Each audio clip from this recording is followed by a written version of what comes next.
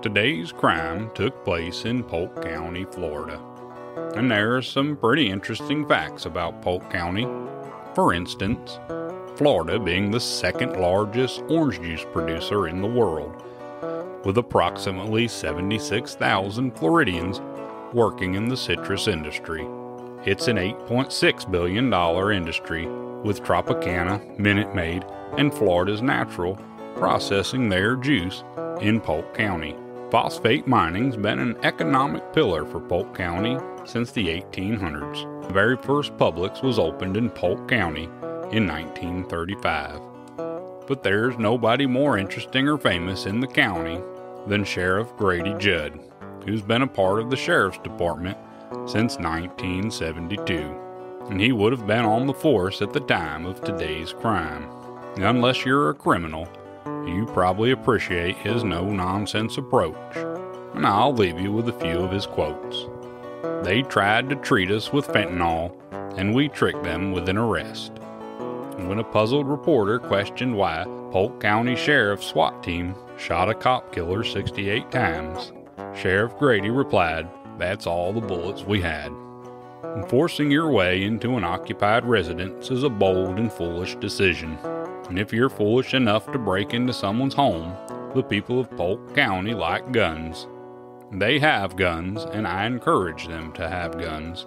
And they're going to be in their homes tonight with their guns loaded. And if you try to break into their homes to steal or set fires, I highly recommend they blow you back out of the house with their gun. We've caught 100% of murderers in the last eight years, so just pack up your murdering butt and leave the county. There's always room in our Crossbar Hotel.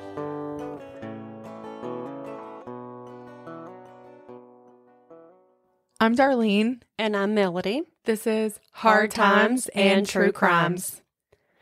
Today, I wanted to give you an update on the Gretchen Harrington case. Oh, yes. We did that one almost a year ago. We did it last August. It was episode 26. Mm-hmm.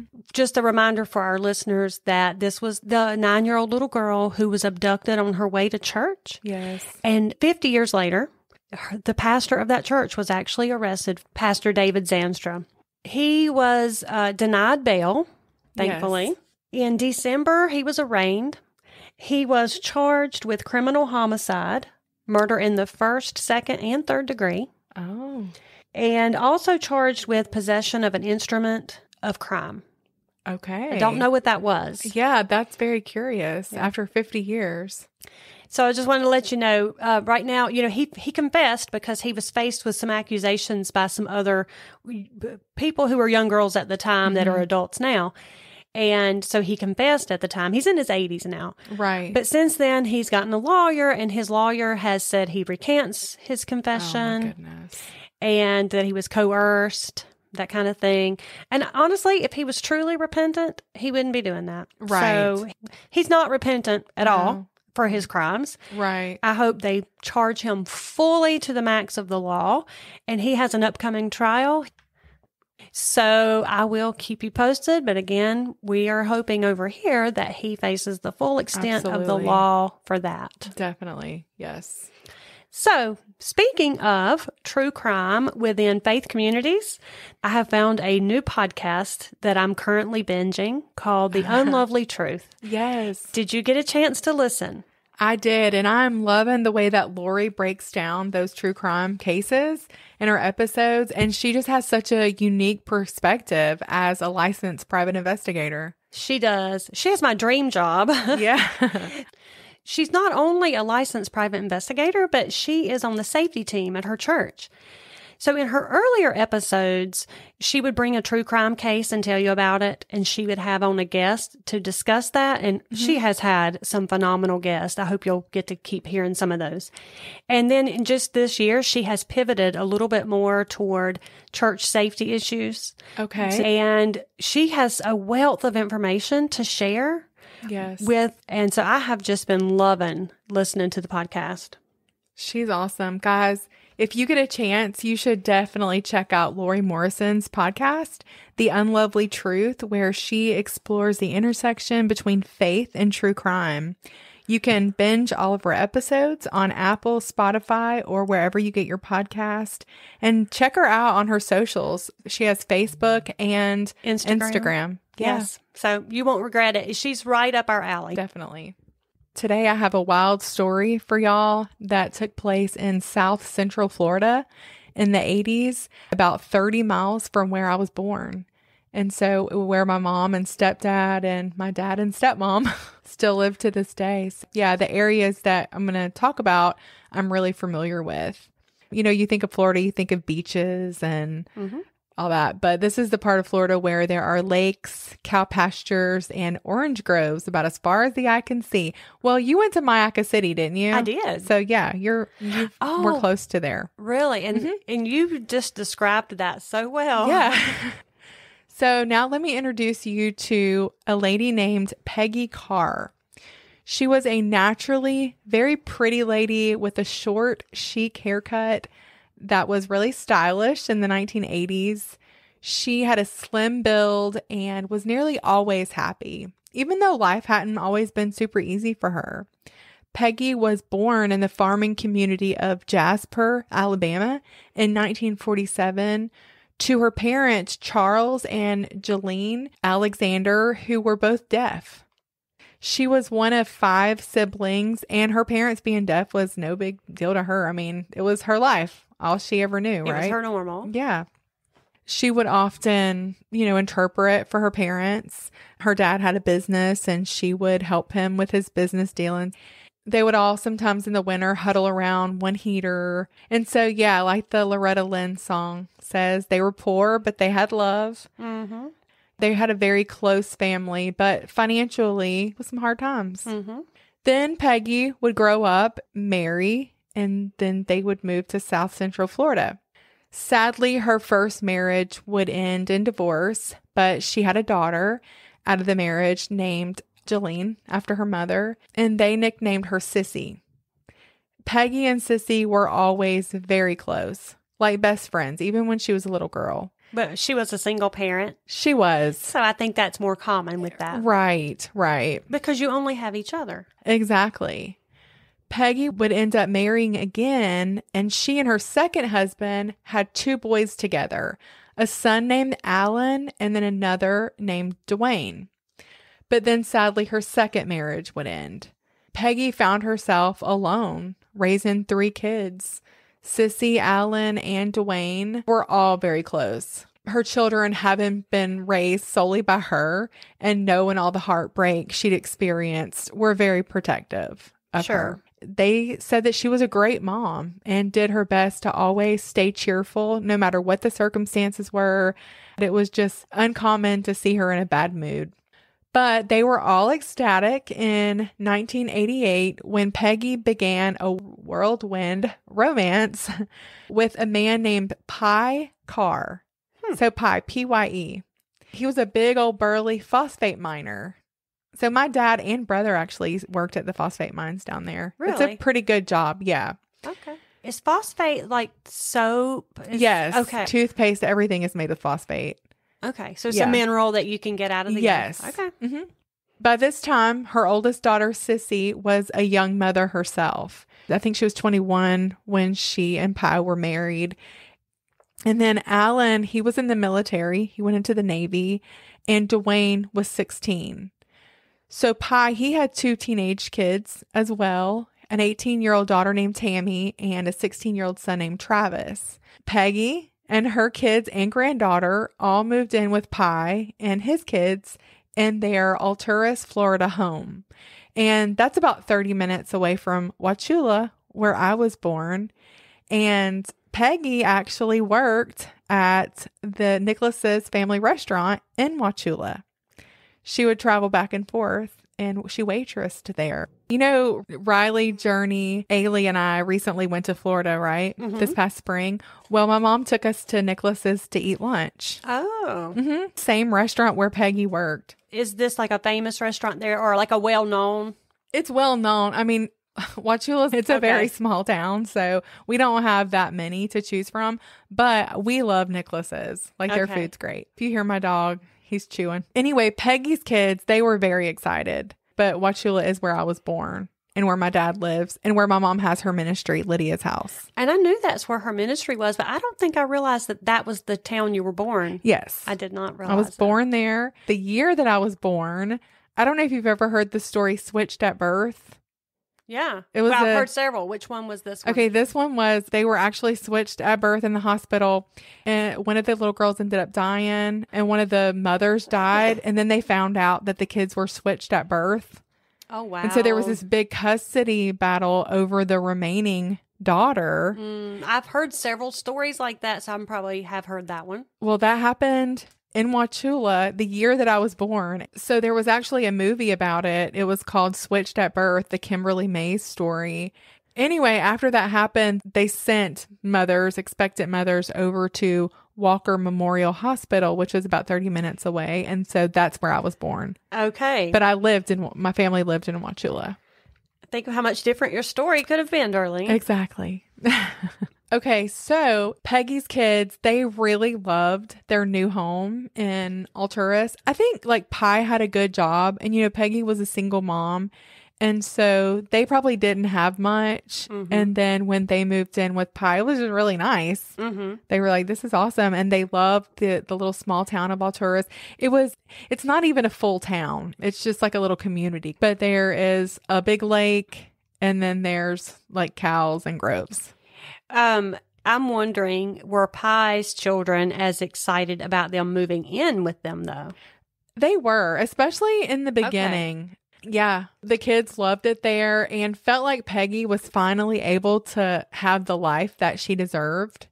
Um, Everything was lively and fun, as you can imagine, in the Yeah, Carr house- household. House full of teenagers. kids running around everywhere, playing heavy metal music, washing and fixing cars in the driveway, playing in the pool, splashing around the yard, getting along like real siblings half the time. Mm-hmm. You know what I can, mean? I can picture every bit of that. There was a lot of laughter and arguments. Sure. It was a loud household. Yeah. But within six months, that newness would begin to wear off. And it was a lot Sure. a typical blended family kind of situation. Peggy feeling disrespected at times. Uh, the neighbors complaining about all the noise and Peggy having to be the one to deal with it. The kids bickering back and forth from time to time. And you know, the kind of thing where the kids did not want to be told what to do by their By step the other parent. Absolutely not. I could totally get that. Yes, and uh, the one set would feel like the others were being treated better than the Yeah. others Favoritism. and vice versa. Guys, let me tell you something. If you marry somebody with teenage or adult kids, they might, and might is the operative word, grow to love your children, but they are not going to feel about your children the way that they feel about their own.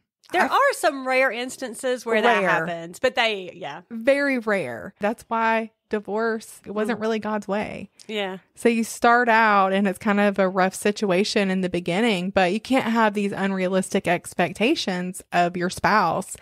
Don't allow your kids to get mistreated by any means.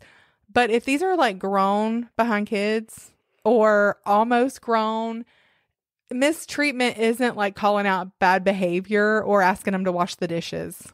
right, yeah, You know what I mean? yeah. Not kidding you. I know a couple who threw in the towel on their marriage over a step parent asking a 19 year old to wash the dishes more than they asked their own kid to Hmm. because it wasn't fair. Oh goodness. Life is not fair. You know what? Those kids moved out of the house a short while after that, and those parents ended up alone, and it's been over 10 years and they're still alone. And they had a good marriage. Really? Besides, and just think those kids are probably grown and yeah, they had their own lives. yeah. I do know what you mean, but on the flip side of that, I, that's what I've I've told Tim many times. Like if something were to happen to him now, I don't even want to remarry until my kids are grown. Absolutely. Because I don't want some man coming in thinking they can tell my my teenage boys what to do Sure. and trying to take the place of their dad. I don't know. I just don't want that. yeah, yeah. And so I'm just like, you know what? I could wait it out until they're grown. And if you can't, then know that about yourself and know you're probably not ready for a relationship. Uh, You know, I was a stepdaughter. You were a stepdaughter. Mhm. My mom and stepdad are still married. I had conflict with my stepdad and he had to set me straight Oh, was plenty were, of times. were they married when you were um younger? No, not when I was younger, but when I was almost grown and he would tell me something and I would get fired up. He would make me mad because his delivery wasn't, I mean, it was like a man and he didn't love me to start with. I wasn't his kid. He would just see, dang, this girl's lazy or this girl, you know what I mean? Yeah. I'm really glad that mom or my dad they they didn't allow us to come in between their marriages, marriages. because they have great marriages now and you know what now we all do love each other Yeah. So it takes time to It you've got to grow into it, I guess. and i'm not like still hurting over him telling me to wash the dishes wasn't the end of the world it was probably things i needed to hear so i don't know anyway i feel like peggy and pye were in the midst of all that yeah. and tensions were high to the point to where they were barely talking some days because Mm. it affected their relationship There's as no way that it couldn't. sure peggy though she still tried. Mhm. you know pye worked a lot and she did too but as the mom you make the house. Mhm. and she continued to try to do that. Um, she would still try to have family dinners every night. She was good to her stepkids. There were some tensions but for the most part they got along good with her. I think with stepdads it's sometimes a little harder because their delivery isn't always the softest. Right. during one of these dinners, Dwayne, Peggy's youngest son, had checked the mailbox just before coming in to eat. And he brought a letter to the table from the mailbox that had been addressed to Pye Carr. And it was actually spelled right, like P Y E, which is weird. Like somebody who didn't know him would maybe spell it like P I E. Mm-hmm. It's an odd name. Yeah. The note inside was typed out on a post it. Hmm. And it said, You and your so called family have two weeks to move out of Florida forever, or else you'll all die. This is no joke. Wow. Ominous. Yeah. So they were kind of laughing about it, though, especially the boys, the teenagers. They're like thinking it's one of their friends, or they're thinking like probably each other did it. Well, the note clearly said this is no joke. It said it's no joke. But Peggy, she was she wanted to take it to the police. Everybody else was like, I'm sure it's no big they deal. just thought she was overreacting. yeah. And she was like, Well, y'all need to stop riding your motorcycles on other people's property. You know, Oh, they're yeah. teenage boys. And she's like, and just be careful. And the boys joked, Well, we better start packing because Oh, somebody's man. coming to kill us. They took it like about like 16 and 17 year old boys take stuff. And life went on. But tensions in the Carr house remained Mm-hmm. high. To make matters much worse, Pye had dated this teacher before Peggy, right? He had called this woman and asked her to meet him one night after work While he's married to Peggy. while he's married to Peggy. Mm, And Pye, they like sat it. outside in like their vehicles. And from what I understand, they were in separate vehicles. Like she was in one vehicle, he was in a different vehicle, but they were like the only, it was just them two out there. And he had told her he had made a terrible mistake. Mm, You can just, you can imagine the conversation. Well, Peggy, because he had blown off a dinner that they were supposed to have at her sister in law's, at his sister's house, she was like, What is going on? So she and Sissy drove out to the mines. They were there? The vehicle's there. And she was like, Well, I guess that's what's going on. mm. And she didn't confront him. She didn't. No, like she waited until he got home. I would She's have been better car than me right then. because uh, me and my soon to be ex husband would be brawling. One of there. us would have been found in the bottom of that mine. Yes. When he came home, she did confront him. And after an argument, Peggy ended up taking her kids and she went to stay at the Tropical Motel. She left Pye a note that read Dear Pye, I do love you very much. Right now, I'm at the point that I don't really know how you feel. I told you that I could handle anything as long as I had you, but now I'm just not sure. I'm going to give you some time to think about us. I can't live like we've been. No respect from our kids, not talking, not caring. I love you and I do want to be your wife. Keyword is wife. I don't know if this is right or not, what I'm doing, but I don't know what else to do. I can't imagine living without you, but I can if you don't want me. There's no question in my mind whether or not I want you and love you. Is there a question in your mind? I'll be okay if anyone is interested. I love you with all my heart. Peggy. Hmm. Ugh, makes me sad for Peggy. Well, he found her at the tropical motel and he told her he did love her and that he was really sorry and that he just wanted her to come home. We'll be back after a quick break. At the beginning of this year, one of my New Year's resolutions was to get my home decluttered and organized, especially my kitchen. Just going in there felt daunting. Even family meals were no longer enjoyable. I knew that I needed help because the thought of tackling it on my own was overwhelming. And then Melody told me about Shannon over at Functional Spaces. And let me tell you that meeting her transformed my kitchen from a cluttered mess to a cozy, functional space that I once again can take pleasure in. Everyone has that one chaotic area in their home that requires excessive time and energy to manage. Many of us can identify more than one. For Darlene, that was just inside her kitchen door. Yes, everybody would come in and throw mail, keys, and coats all over the counters and chairs.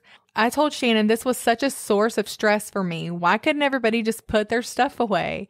And she explained that we could easily turn that area into a place of peace and productivity, a true functional space. We added a coat rack with key hooks and a small mail bin, and that has been a game changer. That's just one example of the difference she made. Functional Spaces is based in the Triangle and serves central North Carolina. If mm-hmm. you're ready to experience that same transformation, go to functionalspacesnc.com and fill out the contact form. You will receive a link to schedule your discovery call to chat about your project area. Again, that's functionalspacesnc.com. Tell her your friends at Hard Times and True Crime sent you. Well, that makes me think the other lady probably just rebuffed him because I think if she had wanted to have him, he would have just said, "Okay, well, we're splitting up." Ugh. Well, Peggy and Pye, they seem to be in a better place after this, and love seemed to be back in the air. They were laughing and joking again. On October 23rd in 1988, Pye and some friends went on a hunting trip to South Carolina. And Peggy got up early that morning before day, like she usually did. Because, like I said, she worked in Wauchula, which was a little over 30 minutes away from their home. And she liked to get up and get there a little early so that she could have a cup of coffee and a cigarette before she started her shift. Did your mama know her? I need to find out because literally we lived there. We lived Right. in Wauchula during this time.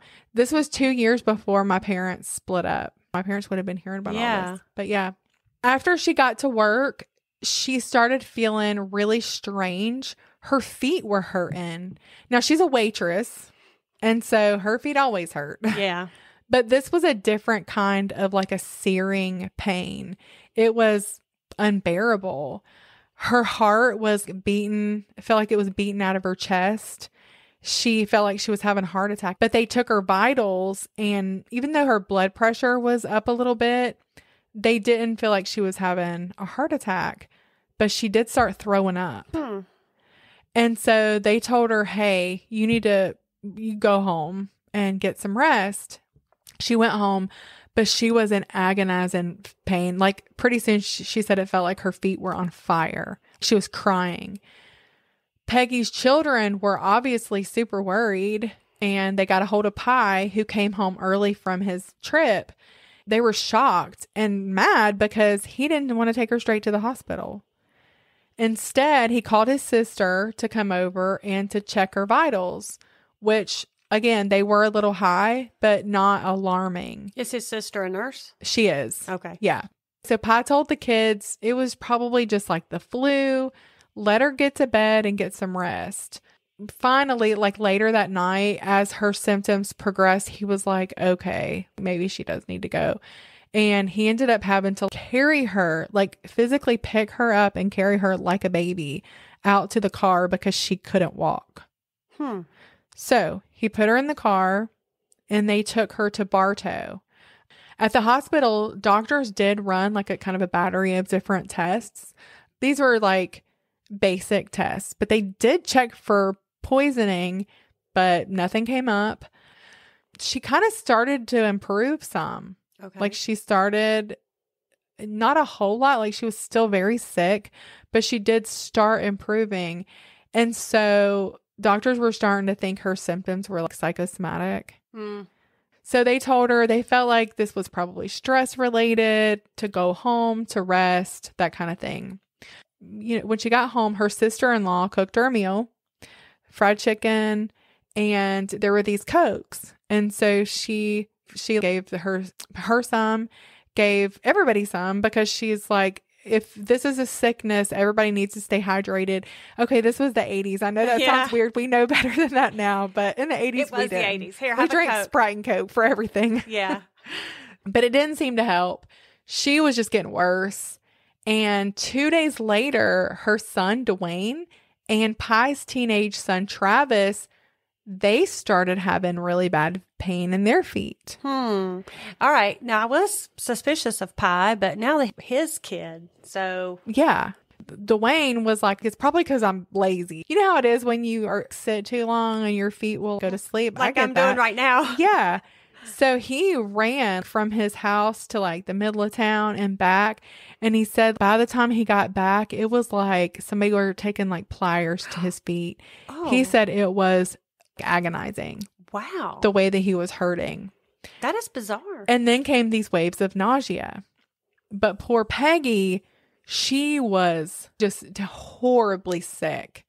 Well, back at the Nicholas's family restaurant in Wauchula, Sissy, her daughter, was confiding in her coworkers that she thought Pye was poisoning her mom. And knowing the issues, because Peggy, you know, she would go to work and talk to her closest friends about some of the issues they were having. And it really didn't seem too far fetched to some of them. So they're suspicious of Pye, Yes. which means either his kid accidentally got some. If he did it, his kid accidentally got some, or he did that to his own kid on purpose. Yeah, uh, yeah. So that that's kind of where things are at. After two days, you know, after Peggy got home from the hospital, Pye called an ambulance to come and pick Peggy up. She was that bad. Hmm. This time he was like, "Don't take her to Bartow." So they went to Winter Haven. That's where the Yes. Grady Stiles, where the people from the circus would winter Yep, there. Winter Haven. So But yeah, so they took her to the hospital, and Peggy, she could barely talk. When the doctor came in, she just kept saying, Why? Why? Oh, that's awful. Dwayne and Travis were both admitted they were vomiting in excruciating pain, and their symptoms were mimicking Peggy's. Well, the neurologist on call that evening at the Winter Haven Hospital was a Dr. T. Richard Hostler. He immediately suspected poisoning. He knew that they had done some tests, but he believed that that's what it was. So soon after arriving, Peggy had lost her ability to even speak. Wow. Now, because of her parents being deaf, she was able to sign. Oh, yeah. So that was a blessing. Her sister came in from Alabama, and her son, Alan, he was granted leave from the military. And he was really mad because he had not been called until this had been Oh, going on for mm. a week. They were not prepared for the way that Peggy looked and how sick she was. Alan hardly recognized his mother. Peggy was ghostly pale. Mm. She had on like a beanie because almost all of her hair had fallen out and she weighed less than 90 pounds. In a week? In a week. Oh, my goodness. Yes. She's like wasting away. She's quick. wasting away. There were tubes all in her face. Peggy was actually incoherent most of the time. Hmm. Like she would kind of slip in and out. She kept signing that her feet were on fire. Maybe it was a mercy, but Peggy did slip into a coma soon after she was visited by all of her kids because even though Dwayne was sick himself, he was worried about his mom. Mhm. And he made so much of a fuss that they ended up wheeling him in there to see her. he was heartbroken over Oh, the way that she and looked. he's only 16. Yes, that's her baby. Dwayne and Travis shared a room and they were not getting better either. They were rapidly losing weight, losing their hair, continuously sick on their stomachs, and in horrendous pain. Finally, the test results came back that they had been poisoned with thallium nitrate. This was an odorless, tasteless chemical, and it was very easily dissolved in food and drink. I just watched a monk episode last week where somebody was poisoning people with that. Really? And I had never heard of that poison before. Yeah. So, yeah, and it's lethal in very small doses. Also, it didn't show up on standard heavy metal poisoning tests. And so it was almost like the perfect murder weapon. Yeah. But where could it have come from? Because it had been outlawed since 1972 because of its toxic effect on humans. Hmm. And so it wasn't like just anybody could go up to the local drugstore and pick some up. Right. Although it was used in some chemistry labs, it was very, very rare. And it was only used under very tight restrictions. Their prime suspect immediately hmm is Pye. Yeah. He did have motive. Yeah, but except his own son. Like, who could watch? Well, we, we as we know, Right. people will poison their own children and watch them suffer horribly. So it's not out of the question. But Yeah. Well, Peggy had over 200 times the maximum human exposure amount in her body. good grief. So she's not gonna. And Travis Rude. and Dwayne, they had over 20 times the maximum industrial exposure amount. Wow. So they knew this wasn't Right. some kind of an accidental exposure Oh. type of situation. was- yeah. the doctors, they had hope that they would be able to save Dwayne and Travis. But after scouring medical journals, they knew that it was really unlikely that Peggy was going to survive. Because it's kind of like radiation. You might not die right away, but once you hit a certain exposure level, there's no coming back from that. Right. And they can't get it out of your system. Yeah. And they hadn't been able to find an antidote. Yeah. this whole time. They're looking, they're trying. Peggy had lost not only her ability to speak, but she had lost the ability to breathe on her own. When doctors and police informed Pye that his wife and boys had been poisoned, he did genuinely seem surprised and said he did not know anybody who'd want to hurt Peggy or the boys, much less kill them. Meanwhile, Peggy's sister, daughter, and son Alan were all very suspicious of Pye. They let police know everything that had been going on in that house the infidelity, the tension, and the fact that Pye had told this other woman he wished he hadn't married Peggy, but it was mm-hmm. too late. Then Larry Dubberly, Peggy's ex husband and Dwayne's dad, and he believed that Pye and his sister Carolyn had poisoned Peggy and the boys. He had actually been in the room a lot. So their boys shared a room. And so he was in the room uh, like a lot with them, right? Travis's Pye son. Mm-hmm. And he told the cops that after the cops came to him and told him, hey, it's poison, he said that when Pye came back in the room, that he was literally shaking and that he just couldn't even hardly talk. He was just so nervous that it was really odd. He also told investigators that one evening he had heard some commotion. He was outside the hospital room, and when he ran back inside the room to see what was going on, Pye and Carolyn, which is Pye, Pye and his sister, they were in the room trying to feed Travis, and Travis was screaming, Larry, help me. They're trying to kill me. And Carolyn was like, We're just trying to help you. Hmm. So from then on, Larry was worried about the food that anybody was bringing into that hospital, and he had the hospital put a stop to it. Good. Pye's sister is a nurse. She She, might have access to some of that stuff. We will see. Okay. Larry also told investigators that Peggy informed him that Pye had life insurance policies for Dwayne, Travis, and Peggy. Well, So- that's not surprising, is it? $80,000 for her and then 60 for the boys. Wow. And that was a pretty big bombshell. It wasn't mm-hmm. looking good for Pye. But investigators also heard from Peggy and Pye's preacher, the Reverend Bob Grant, that he did not believe that Pye would have done something like that. He said he was up at the hospital every day in that room with Peggy. He said, You never know. She might know that I'm here. Mm-hmm. He just said that the accusations and suspicions had doubled Pye's load of hurt. But the family members are the ones who know him better than the pastor. They do, but you have to understand too that that Travis did say all that, but you know that drug causes some hallucinations. Okay. All right. All right. There's that too. you calmed me down a little bit here. And everybody, everybody knew how close Pye was to his son. And he was close to his son. Hmm. That was like a barrier for cops. He looked very suspicious in every other way, but Dwayne, he seemed to be getting better, but Travis was not. He was getting worse. Now, this is Pye's son. son. He had lost control of his muscles, and they ended up having to put him on a respirator for his breathing, and he was in intensive care. He had, couldn't walk. It was bad. Hmm. He was, um, things were not looking good for him. Then some test results came back. Dwayne and Travis were not the only ones with thallium in their systems. Sissy, Peggy's daughter, she had it in her system. Her two year old, Casey, Oh. and Pye had it in his system. Hmm.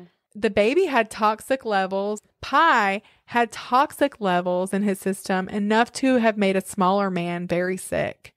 But they're thinking because he was so large, he was only having some minor aches and pains. But he was chalking it up to he's going through a lot. Right. So even he did not realize that he had this in his system. But then the police wondered had he had just absorbed some of it in his through his skin because you can when he was poisoning the family. But in their searching, nothing in their home Yeah. could they find that they were suspicious of. No evidence. Yeah. Was it this woman he met at the You will see. Okay. or, or a neighbor, but I'm thinking that woman that he met. I don't know. Yeah. Investigators, they were coming down pretty hard on him because he was still their best suspect. They were questioning him hard. And finally, he decided to bring up that note. Oh, finally. And the cops are like, Why didn't you tell us about this before? And he was like, I just didn't think about it, which is, is weird to me. But anyway, so they got the note and they started analyzing it. And they knew very well that it was possible that Pye had fixed up the note himself. And they knew how to spell his name. Yes. So it was somebody who knew them Mhm. for sure. If he did it, he probably thought this would take the suspicion off him and onto this mysterious culprit. Most people wouldn't have known to spell his name that way. That just stood out to them. I think it's his sister.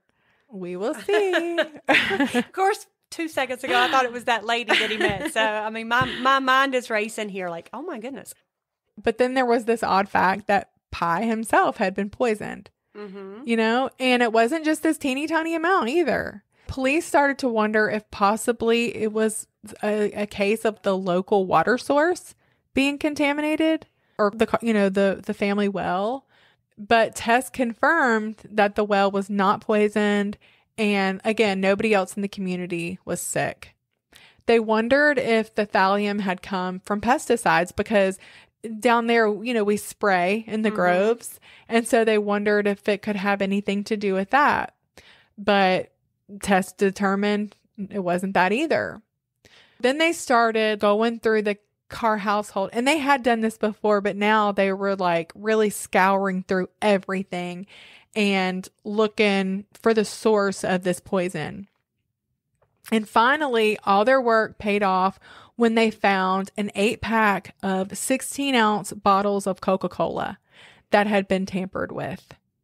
They discovered that someone had put thallium inside the Coke bottles and replaced the cap.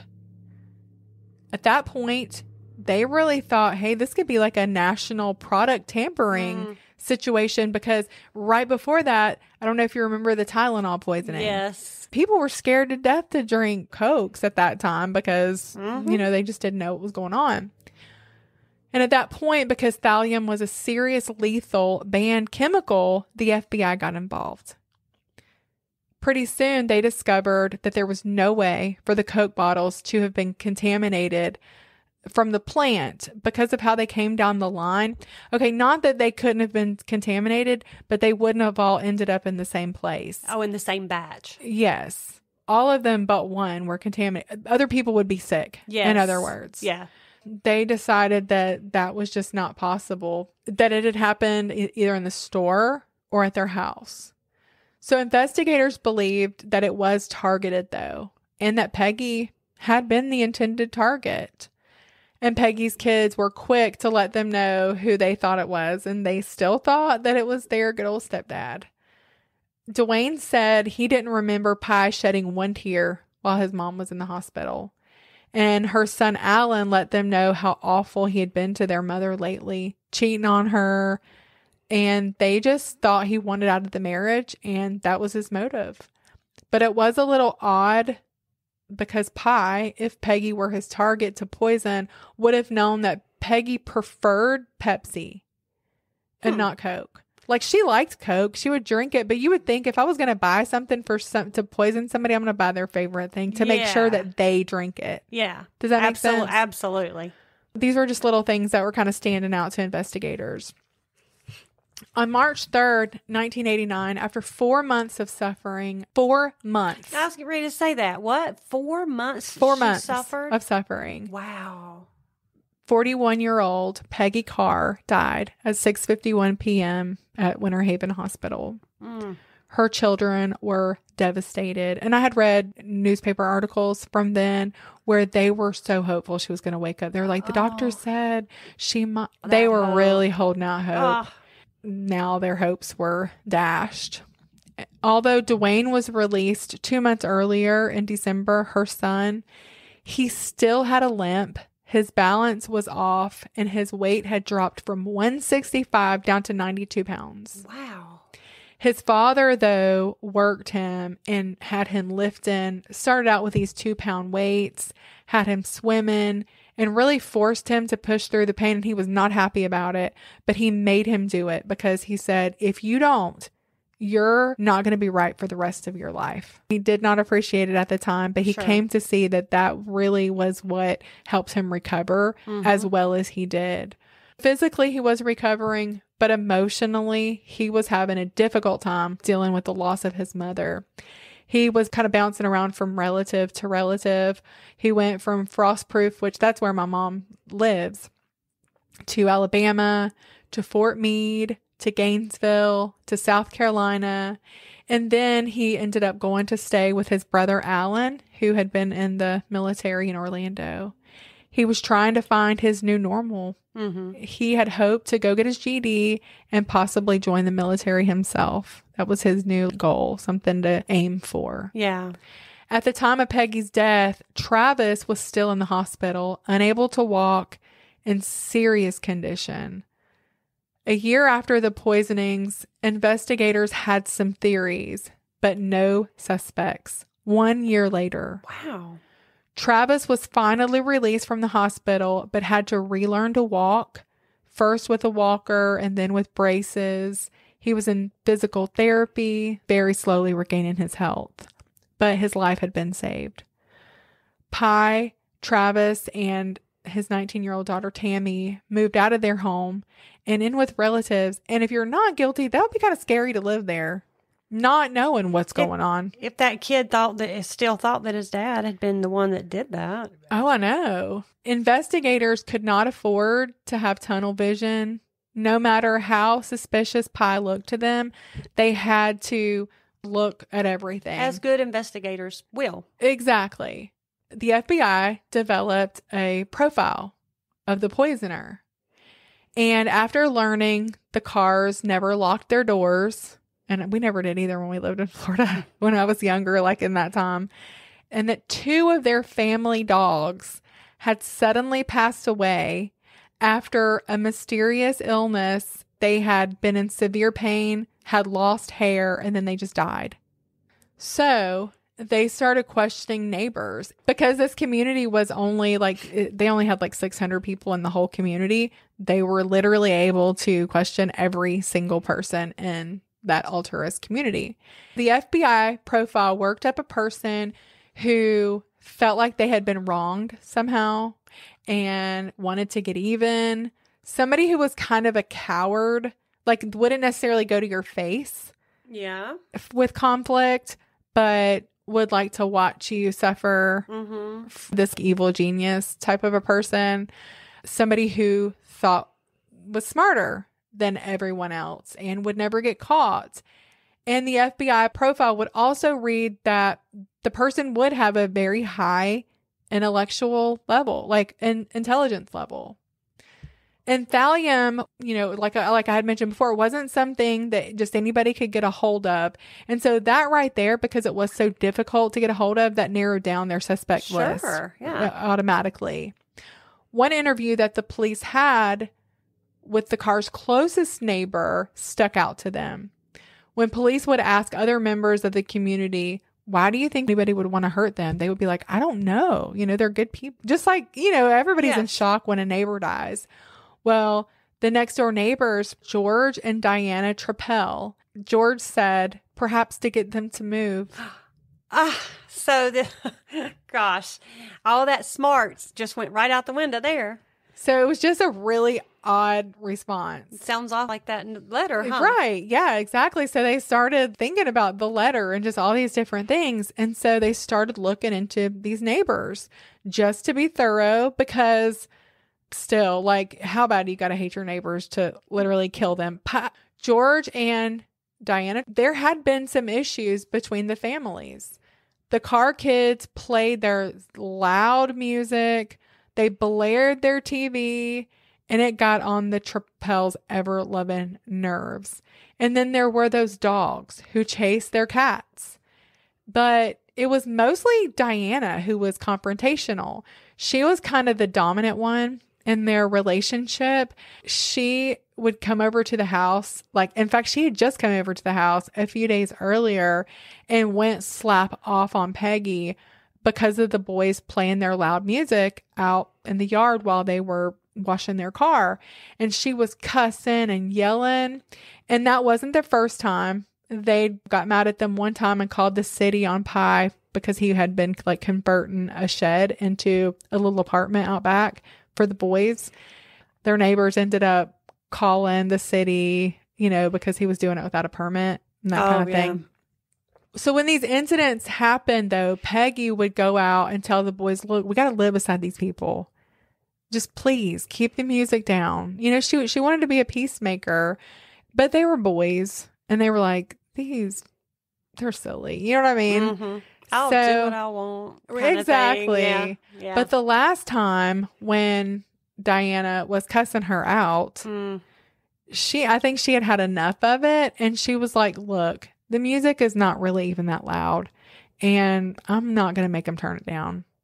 Cuz I think she was used to come over there and kind of bullying Peggy yeah. and Peggy would just be like, "I'm really sorry," you know, that kind This of thing. This time she kind of just stood her ground. She was like, "Yeah, they're not even doing anything. Like, calm Yeah. down. They're kids."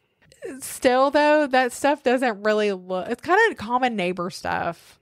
Like, we have a great relationship with our neighbor, but one night, so his window is like right by our house, and we had our son's dog over here. We were at Elijah's wedding, oh. and we left him like in his kennel hmm for hours Uh-oh. and he barked and barked and barked and barked. And by the time we got back home, he was so frustrated with us. Like he was was- like, "You're a great neighbor, but I cannot." Handle that. With dog. that dog. and, you know, it just happens. We could have gotten mad and been like, oh my gosh, but, uh, you know, we settled it and we Yeah. were wrong and that kind of thing. But yeah, I mean, it happens. Neighbors get frustrated with each other. Yeah. But this sounds like it had been ongoing and Yeah, and they're older, and I do get it. Like, I don't love lots and lots of noises. I'm sure the kids were loud, and they were Yeah. kind of close neighbors. But there's a way to talk to people yeah. and to try to work things out, and I just don't think they went about it the right way. But anyway, still, you know how many neighbors have trouble with each other? Like that is common. Well, we it really is. Yeah.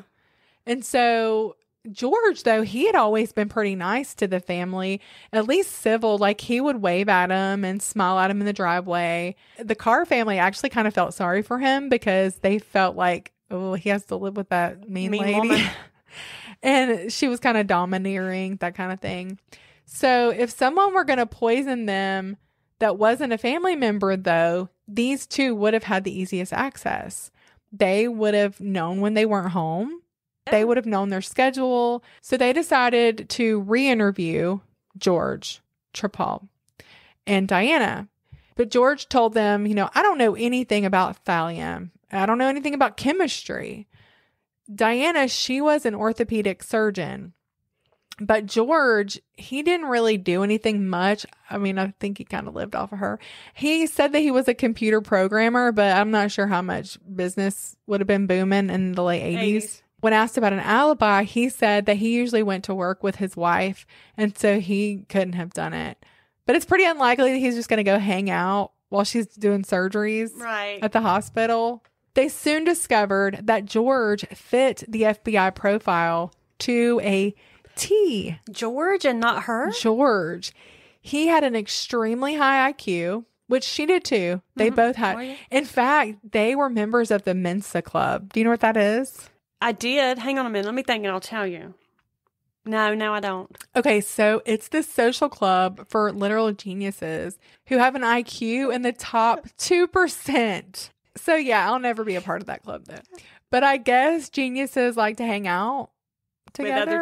I guess so. After doing a background check, they discovered that George had lied to them and that he did, in fact, have a background in chemistry Oh. years ago, he had actually spent time in prison for being involved in a methamphetamine ring in the 70s that produced $7.5 million worth of the stuff in North Carolina. Oh my gosh. This guy's like breaking bad. I was going to say, I was thinking Walter White. That's like a Yeah. true life yes, Walter White. It is. And guess what chemical he used all the time? That Thallium thallium nitrate. nitrate, yeah. Yes. While serving time in prison, George taught chemistry to the inmates. He is the real life Walter White. I'm convinced. yes. Also, George wasn't confrontational. He would have been likely to go next door and talk to the Carr's fate. You know what I mean? And be- Maybe this is where Breaking Bad got their idea for this. I really show. wonder. I I'm really wondering, too. wonder. Yeah. So, and who knows what kind of crap he was taken from Diana? You know how we wives can be when we're aggravated about a situation. Anyway, bit, yeah. like normal wives. Imagine somebody who's, Mm. you know, super domineering and that kind of thing. Investigators just had this gut feeling. They felt at that point like George was their guy, but uh, they couldn't go on a feeling What? Right? Yeah. right? Because there was literally no evidence to back that up. And this was not a typical murder, and George was not a typical murderer. So they knew that their typical techniques were not going to work on him. It wasn't going to do for them to take him down to the station and interrogate. He thought he was smarter than everybody else. He would clam. It just was not going to work. And they knew that. But they also believed that if he got away with this, it was not going to be his last murder. No. And the Carr family and Peggy's children, they had been in so much pain from everything that had been Mm. taken from them. Peggy's son Alan went back to serve in the Navy. He actually attempted suicide very shortly after. Thank God he was not successful. But the killer almost claimed another life Right. you know and so they really wanted justice for this family so i don't know if you've ever heard of polk county's sheriff he's like famous on tiktok it's grady judd Oh yes. he was actually on the um interview like talking about all this Oh, so i can just imagine him thinking through all this stuff with the fbi of course Yeah. because and but yeah, but what are the chances that you would have somebody so um, smart also Yes. involved in that who could maybe match wit for wit? Right. The police started this undercover operation. They knew that they were going to have to get inside information somehow. They were surveilling him. They were doing everything that they could, but it was not enough. He was smart. George, he just wasn't going to make these common criminal mistakes that other people made. So they brought in this woman named Susan Goreck, who was a Polk County cop, and she went undercover. They'd had this plan and they felt like she was the perfect fit to go undercover. And so she agreed to do that. George and his wife were hosting this murder mystery weekend at their Mensa club. Well, that's uh, ironic. Yes, it was a huge hobby that they loved. So, this particular one was called a Mensa Murder Weekend Voodoo for Fun and Profit.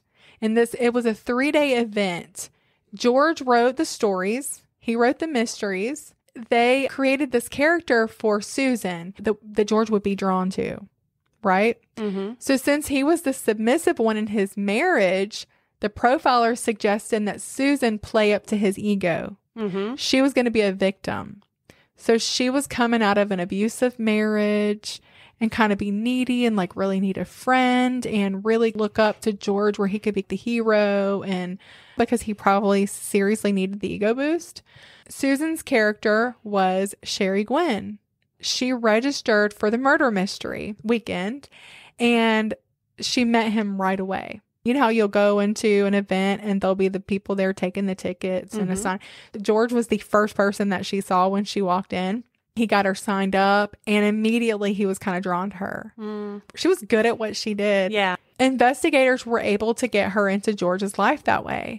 I think it's just so fascinating how this is playing out. It's it gets better. Oh, it gets so much better.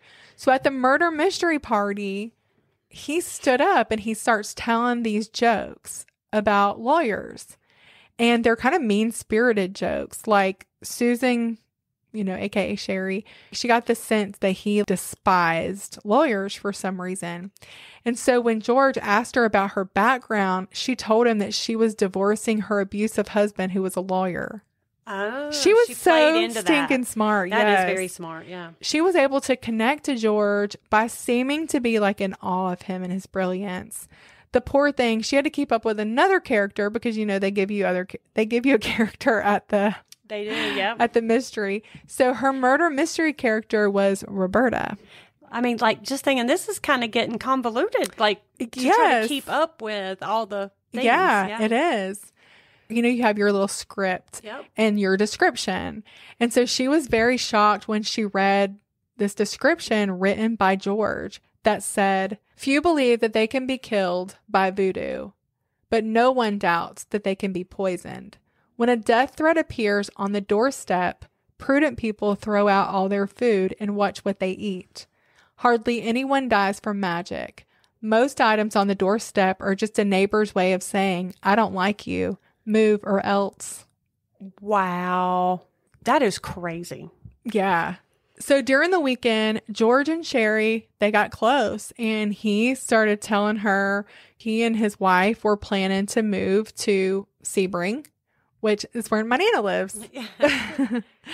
uh, because Diana had bought a practice over there.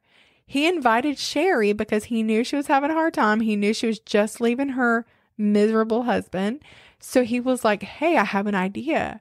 We weren't planning to rent out our house, but we'll rent it to you. I mean, we trust you. Mm. And she's like, Okay. she can get in there and search for Oh my gosh. stuff. Yes. When it was switched to where it was her property Yeah. and it was his idea. that is crazy. So she's going to rent and now she it's legally So hers. She's allowed to do that. Yeah. So, anyway, it was the perfect opportunity. So, during this whole time, the two of them are staying close, and she's meeting with him regularly in public, of course. Several times they're going to parks, and she's playing, like, I don't know what to do about my ex husband, you know, that whole mm-hmm. thing. And they're having lunch. He suggested that she ruin her ex husband's reputation by writing a letter saying that he molested a child. Oh gosh, that's diabolical. That is diabolical. He also confided in her that when he was in college, he and his friends would pick up hitchhikers and they would have these Oreo cookies with hallucinogenics gosh. that they would give to the hitchhikers and just watch the effects that the drugs would have on them. Wow. And they would just kind of like laugh about it. Yeah, that's crazy. And this shows just how devious and sneaky I feel like he was. Yeah. Well, while all this is going on, a surveillance team is watching his every move. Yeah. I just love, love, love that he thinks he's so smart Oh, me too. and he's playing right into their hands. but they were concerned for her safety Sure. as well. They had also discovered that he was kind of a person that enjoyed sitting back and watching other people suffer. So it's not like he's going to shoot somebody or Mhm. like stab somebody. He he gets a kick out of just like sitting back and watching. Yeah. And repeatedly, he would almost beg Sherry to come back to his new house with him because he said he wanted to give her a grand tour. And she just kept putting it off. Well, can I take a rain check? In fact, I, I listened to some of the surveillance and watched some of the uh, footage that they had. And she would just be like, well, can I take a rain check? Or I have, you know, I have this and that. So she would always try to meet with him in public, which was smart. They had found some chemical in his place that they had sent off for testing, but it had to, it takes some time. I mean, Mhm. even with that first round of testing, it took time before they found out what it was. Well, finally it came back and in his garage there was thallium nitrate and not just traces of it. They also found other chemicals and thousands of journals and books. One homemade journal that uh, described thallium as the choice of criminal poisoners, and its fatal doses and effects were like all written out and like Mm. described. They also found a copy of The Pale Horse by Agatha Christie, Mm-hmm. which was about a series of murders that were uh, committed by using thal- thallium poisoning. Hey, I have a great idea. Okay. The Agatha Christie made me think of it. Mhm. We have some Agatha Christie shirts and mugs. We do. So the first five people that are members of our um, Facebook group, Hard Times and True Crimes, the group, not just the page. If you comment about this episode in the group and share the link, we will send you a free shirt or mug. Absolutely. Yes. Of course, I'll have to get your address so we can ship those to you. Yeah. So if you do that, screenshot it and then um, you can either email us at hardtimesandtruecrimes at gmail.com or you can just message us. Yeah. Either way. Yep. Yep. So if you'll do that, and we will send you out a shirt or a mug. Absolutely. That's a great idea, Melody. Okay. So on April 7th in 1990, 41 year old George Trepal was arrested at his Sebring home. He was arrested with first degree murder in the March 3rd, 1989 death of Peggy Carr. He was also charged with six counts of attempted first degree murder and numerous counts of product tampering. Mm. After searching his Sebring home, they discovered a secret soundproof dungeon hidden underground with no windows or inside doorknob. Oh my gosh. There was a platform bed with wooden stirrups and what was he planning? and all kinds of torture devices, even a pulley system to like lift someone up in the air. Investigators strongly believed that that was created for Susan Goreck, their investigator. Oh my gosh. Yeah, he was kept trying to get her to come over. yes. Oh my gosh, he was getting he was like like serial killer They believe that that is who that room was made for. for her. Yes. Thank God. They said that when she she, saw go. that, she literally had to, like, it took her breath away. Like, she I had to am leave. sure. Can you imagine how that would feel? No. That is just that's that's chilling. Like that gives me cold chills. Yes. So, ugh. Peggy's kids and the Carr family were shocked. In fact, it took Peggy's kids and sister hearing all the evidence in court to even believe that George was their mother's killer and not Pye. During the trial, George's attorneys argued that investigators had no right to search his home and without a standard, you know, warrant issued by a judge, but the prosecution argued that he had turned the home over to Susan and the other law enforcement officers did have the right to search his home without a warrant because he had abandoned what was left there and the items that were left Yeah. there. You know, he had turned the home over to Susan Goreck. Law enforcement has the right to lie to suspects. They're Yeah. allowed to do that. Yeah. So she was within her rights when she was lying to him. She's allowed to do that. Ultimately, the judge did decide with the prosecution that he had turned the home over to her. And Wow. so it was fair game.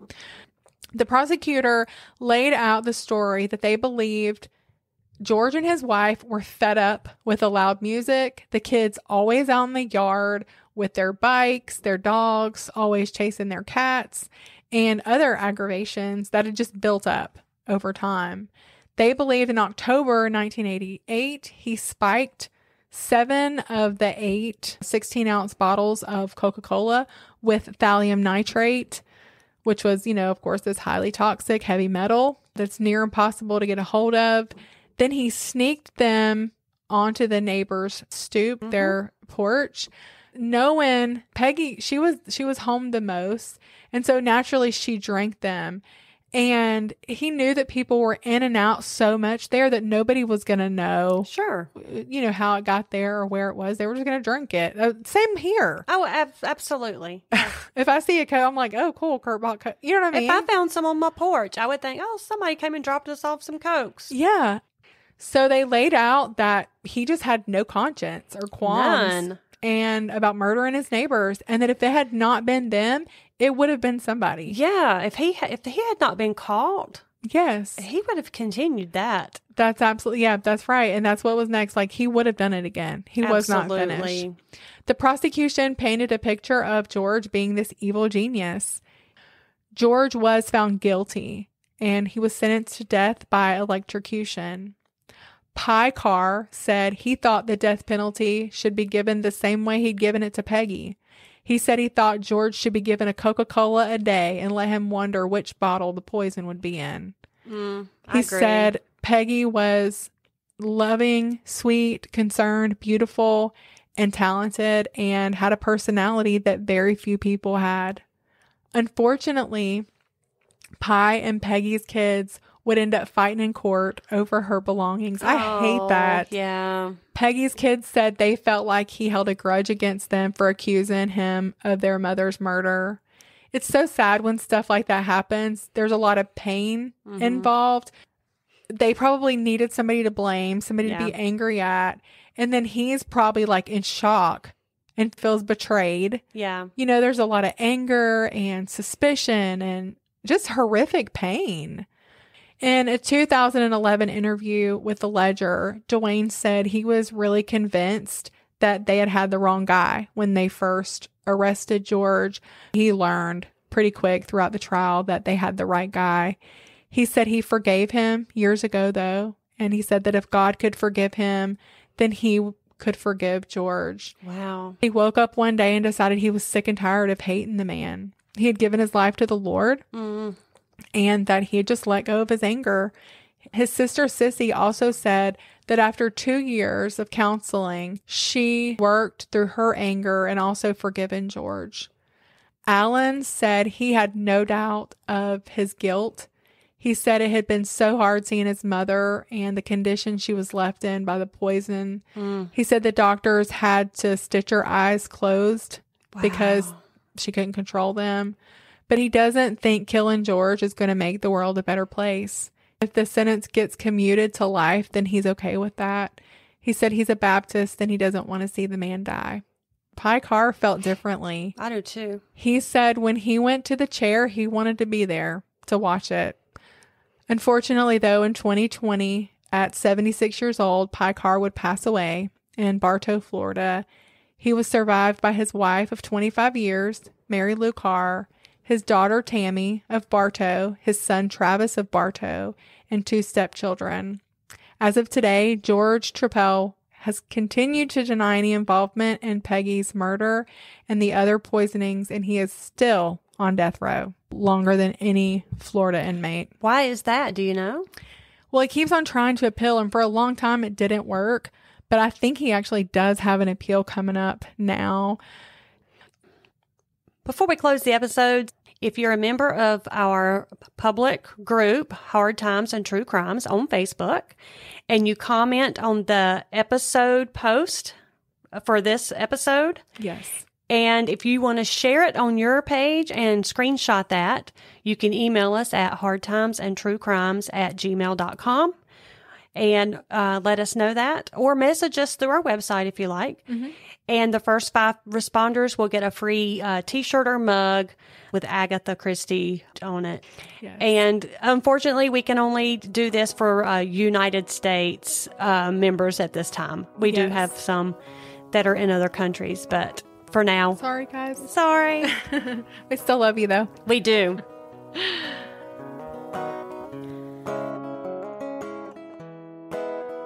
I've learned a thing or two about Florida over the years because that's where my wife's from, but I still love her. And one of the most interesting things that I've learned is the existence of the Florida Man. And if you don't know about the Florida Man, well, I encourage you to take the time to Google Florida Man headlines. There are entire websites, Twitter accounts, and radio programs dedicated to highlighting all the weird, crazy, and interesting things that the Florida man gets arrested for. Headlines like Florida man tries walking out of store with chainsaw in his pants, or Florida man arrested for calling 911 because his cat can't come in the nightclub, or Florida man tries to bring four foot emotional support snake on a plane. And the list is never ending. But there's one thing the Florida man doesn't do, and that's miss a single episode of Hard Times and True Crimes. So you make sure you tell everybody you know, even if they're from Florida, to check us out. Till next time, goodbye.